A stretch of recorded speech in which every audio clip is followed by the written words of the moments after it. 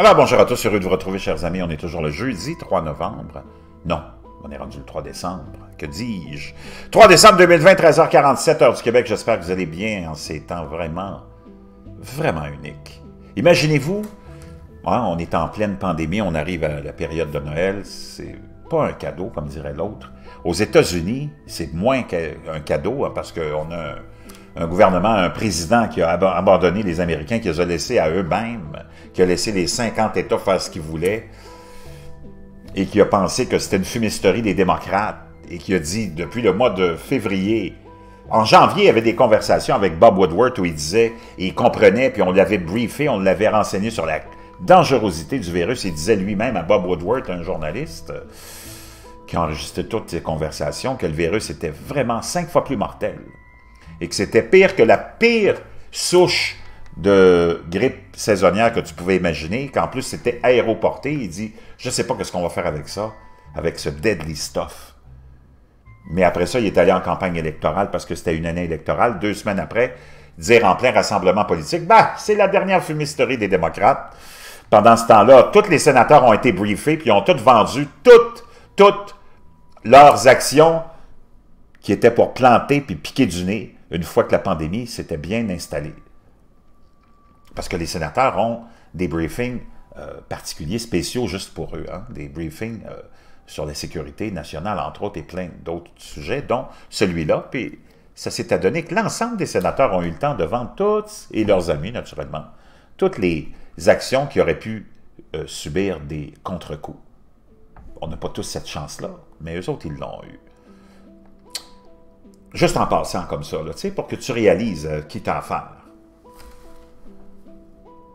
Et t'as Donald Trump qui est allé dire c'est rien, on a juste 15 cas au mois de février, je pense. Ah, ça va partir au printemps, c'est rien, c'est juste une petite grippette. Puis après ça, il est allé dans le délire, puis le délire, puis plus de délire. Après ça, il est allé en opposition à la science, opposition aux médecins, a mobilisé les Américains pour se révolter contre les politiciens et les dirigeants et les responsables qui essayaient de contrôler la pandémie. Il a créé un bordel total. Il a créé un mouvement de doute face à la dangerosité du virus, même si lui le savait, puis même si les sénateurs le savaient, puis qui ont tous vendu les actions dans les compagnies où on savait qu'ils étaient pour planter dû à la pandémie puis au confinement. Mais comme on était en année électorale, Donald Trump a pensé dans sa tête, qui est incapable de fonctionner normalement, que c'était un bon coup pour lui de réagir comme ça. C'est ce qui lui a fait perdre l'élection et ce qui a amené 81 millions d'Américains, un record dans l'histoire des États-Unis, à voter contre lui. Comprends-tu? 81 millions d'Américains qui ne sont pas allés voter pour Joe Biden, même si on l'aime, c'est un gars sympathique. Il a 78 ans, c'est pas lui qui excite les gens. Puis c'est pas lui qui va mobiliser non plus les Américains.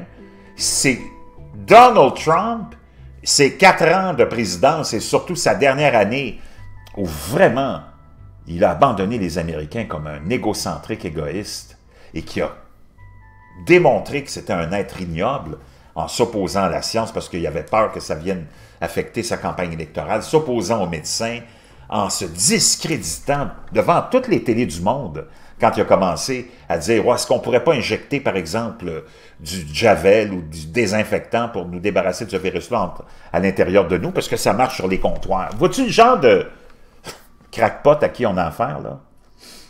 Lui a pensé que c'était un bon coup d'agir comme ça. Les Américains ont vu ça, ils ont dit, sais-tu quoi?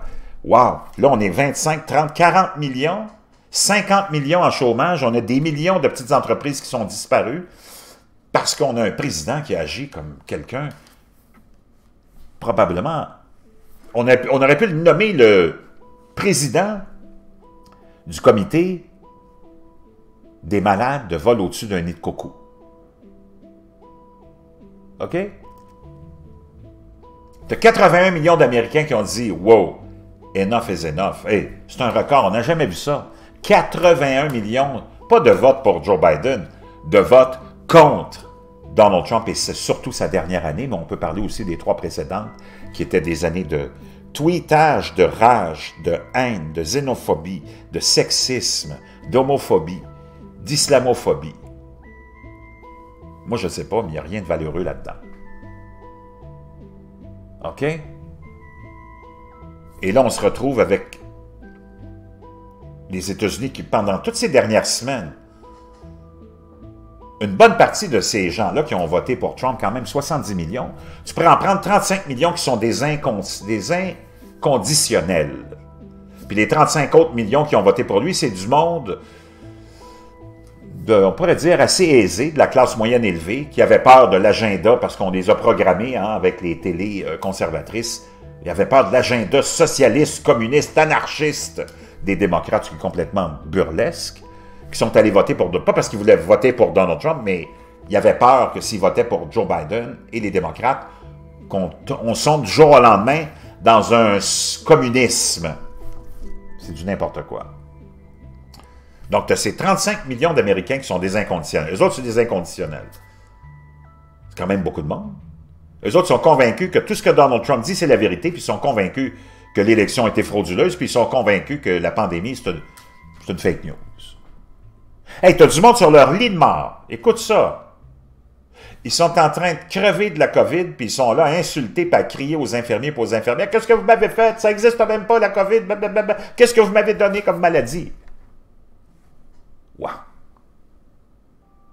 Donc là, tu as 35 millions d'Américains qui combattent les mesures, qui disent que c'est du fake news, puis qui sont incapables de se conformer, puis de faire un effort pour essayer qu'on sorte de cette affaire-là. Ben, ces 35 millions-là, tu en as un petit peu au Québec, tu en as en France, tu en as un petit peu partout de ces gens qui pensent toujours qu'il y a une conspiration quelque part, puis que tout est fake. Pendant ce temps-là, mon chum, aux États-Unis, on a des chiffres comme on n'a jamais vu, même dans la première vague.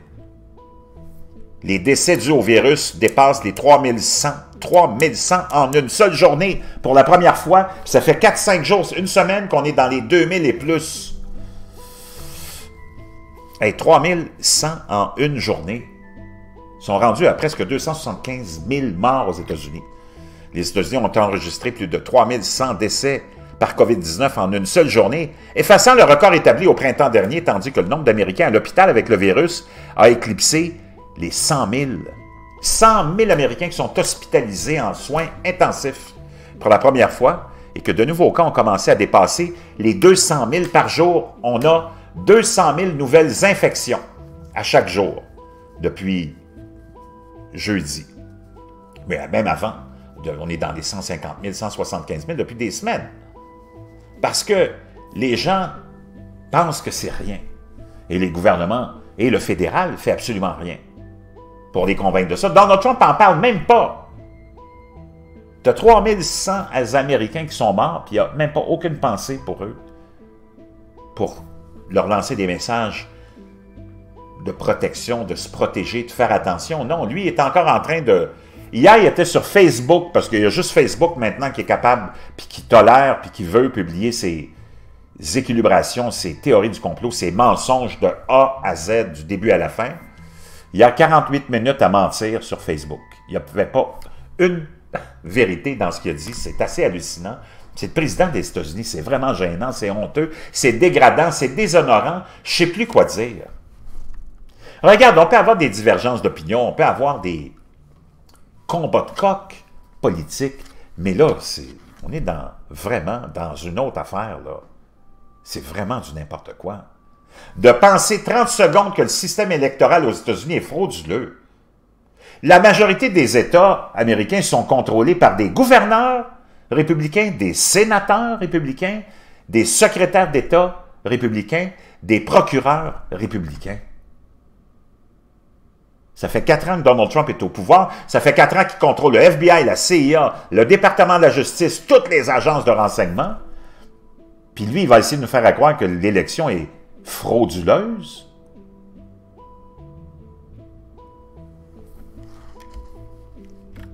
Les trois repères ont montré au total qu'un pays s'enfonçait dans la crise avec peut-être le pire avenir, en partie à cause des effets retardés de Thanksgiving, parce qu'on sait que ça vient toujours après. Hein?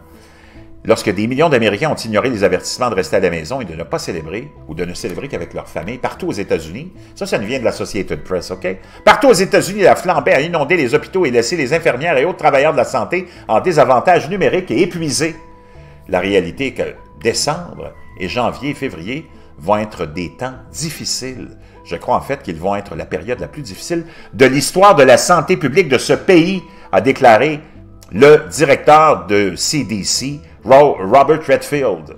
Les autorités sanitaires avaient averti que les chiffres pourraient effectivement fluctuer fortement après le Thanksgiving, comme ils le font souvent autour des vacances et des week-ends en raison des retards dans les rapports des chiffres. Les chiffres chutent souvent puis augmentent fortement quelques jours plus tard. Wow! Pourtant, les décès, les hospitalisations et les cas aux États-Unis ont, ont, augmenté assez régulièrement pendant des semaines, battant parfois des records pendant des jours. Le sombre portrait survient alors que les États-Unis décident de la manière dont le vaccin sera distribué lorsqu'il sera autorisé par le gouvernement fédéral comme prévu la semaine prochaine. Les États sont confrontés à une date limite vendredi pour soumettre des demandes de doses du vaccin Pfizer et spécifier où elles doivent être expédiées étant donné que la disponibilité des vaccins devrait être limitée jusqu'au printemps. Donc, on n'est pas sorti de l'auberge. La plupart des États devraient suivre les lignes directrices adoptées par le CDC. Donc, on sait qu'il y en a qui privilégient naturellement les personnes âgées, les enseignants, ceux qui ont des euh, problèmes de santé majeurs. Wow. Les États-Unis ont enregistré 3157 décès mercredi selon le décompte tenu par l'Université Johns Hopkins. C'est le plus, grand, le plus grand nombre de personnes tuées depuis le 11 septembre, et cela a brisé l'ancienne marque de, 3000, de 2603 fixée le 15 avril. C'est comme si tu avais un attentat, comme le World Trade Center, à chaque jour. C'est autant de morts que ça. Wow! En outre, le nombre d'infections nouvellement confirmées a grimpé à un peu plus de 200 000 pour la première fois mercredi en une seule journée. Wow! Puis t'as encore du monde qui pense que tout ça c'est fake news, que c'est une fumisterie, que c'est du n'importe quoi, qu'on joue avec des statistiques. Et...